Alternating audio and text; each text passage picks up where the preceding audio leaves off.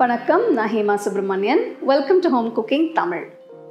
பொதுவாகவே நம்மளுக்கு சிக்கன் ரெசிபீஸ்னாலே ரொம்ப பிடிக்கும். நிறைய வெரைட்டிஸ் இருக்குது ஆனால் கொஞ்சம் கார சாரமாக சாப்பிட்ணுன்னா இன்றைக்கி நம்ம பார்க்க போகிற ரெசிபி ரொம்பவே பொருத்தமாக இருக்கும். இன்றைக்கி நம்ம பார்க்க போகிறது தெலங்கானா சிக்கன் இதை எப்படி செய்யறதுன்னு பார்க்கலாம்.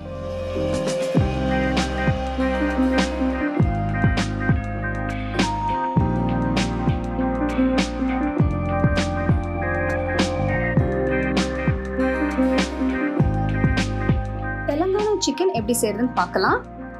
இதுக்கு நான் முந்நூற்றி ஐம்பது கிராம் சிக்கன் எடுத்திருக்கேன். சிக்கன் பீசஸ் பெருசாக இருந்தால் நீங்கள் சின்ன துண்டுகளாக நறுக்கிக்கலாம். அடுத்தது ரெண்டு வெங்காயம் மெலிசா நறுக்கிக்கோங்க. இதுக்கு ஒரு கப்பு கொத்தமல்லியும் பொடியை நறுக்கி வச்சுக்கோங்க. தெலங்கானா சிக்கனுக்கு ஒரு மசாலா தூள் அரைக்க போகிறேன் இதுக்கு ஒரு பேனில் ஒன்றரை டேபிள் ஸ்பூன் முழு தனியா ஒரு டீஸ்பூன் கசகசா ஒரு டீஸ்பூன் ஜீரகம் இரண்டு டீஸ்பூன் முழு மிளகு பத்து காஞ்ச மிளகாய். இது எல்லாமே சேர்த்து பேனில் ஒரு அஞ்சு நிமிஷம் வறுத்துக்கோங்க. அஞ்சு நிமிஷம் வறுத்த பிறகு பேன்லேருந்து எடுத்து தனியாக வச்சுருங்க. அதே பேனில் ரெண்டு டேபிள் ஸ்பூன் திருகண தேங்காய். இதையும் சேர்த்து நல்லா லைட்டாக வறுத்து எடுத்து வச்சிருங்க.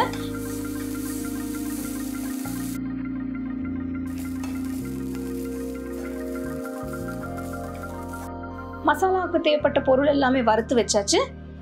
மசாலா கம்ப்ளீட்டாக ஆறின பிறகு மிக்சி ஜாரில் மாற்றி நல்ல பொடியாக அரைச்சி வச்சுக்கோங்க.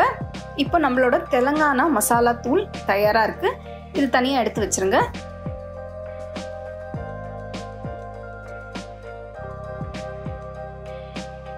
அடுத்தது ஒரு பேனில் ரெண்டு டேபிள் ஸ்பூன் எண்ணெயை ஊற்றி அதில் கொஞ்சம் கருவேப்பிலை போட்டு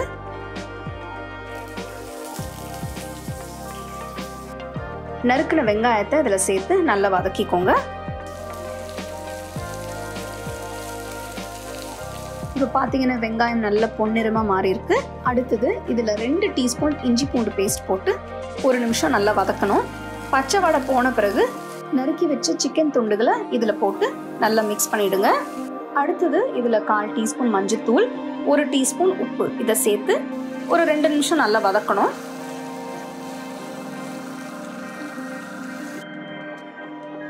ரெண்டு நிமிஷம் கழித்து அரைச்சி வச்ச தெலங்கானா மசாலா தூளை அதில் சேர்க்கணும்.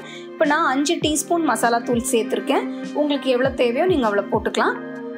மசாலா தூள் போட்ட பிறகு ஒரு ரெண்டு நிமிஷம் நல்லா மிக்ஸ் பண்ணிவிடுங்க இப்போ பார்த்தீங்கன்னா அந்த மசாலா தூள் சிக்கன் பீசஸ் எல்லாம் நல்லா கோட் ஆயிருக்கு.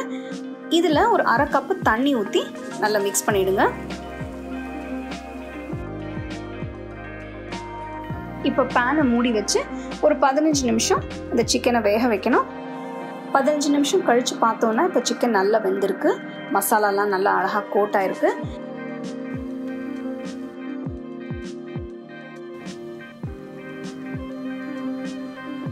கடைசியில் கொஞ்சம் நறுக்கின கொத்தமல்லி இதையும் சேர்த்து இப்போ ஸ்டவ் ஆஃப் பண்ணிவிட்டு தெலங்கானா சிக்கனை நல்லா சூடாக சர்வ் பண்ணுங்கள் இது ரசம் சாம்பார் இதோட சேர்த்து சாப்பிட்டா ரொம்ப அருமையாக இருக்கும். இல்லைனா வெறுமனே கூட சாப்பிட்லாம். ஸோ இந்த ரெசிபி கண்டிப்பாக உங்களுக்கு பிடிச்சிருக்கும்னு நினைக்கிறேன். இதை நீங்கள் வீட்டில் செஞ்சு பாருங்கள்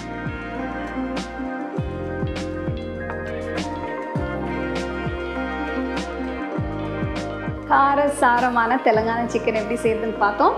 ஸோ இந்த சிக்கன் நீங்கள் ரசம் இல்லைனா சாம்பார் வச்சு சாப்பிட்டீங்கன்னா ரொம்ப டேஸ்ட்டாக இருக்கும். இல்லைனா சும்மாவே கூட சாப்பிட்லாம். You can get a copy of first edition of the home cooking book on twenty one friends